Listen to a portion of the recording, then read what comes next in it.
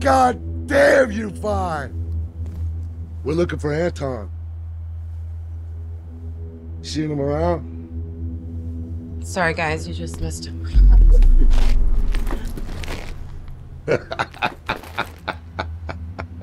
Maria, is it? How do you know my name? Doesn't matter, but I do know of you. So you're gonna listen real close.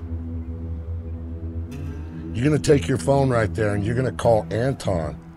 Let him know you're here with Big John and Vince. You're gonna tell him where to meet us by 7 p.m.